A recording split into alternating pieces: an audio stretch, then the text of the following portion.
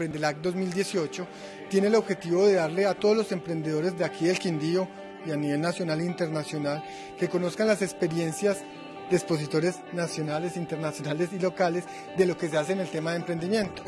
El Congreso pues tiene tres días, el primer día está enfocado a la economía naranja, el segundo día eh, a la mujer y el tercer día a la juventud.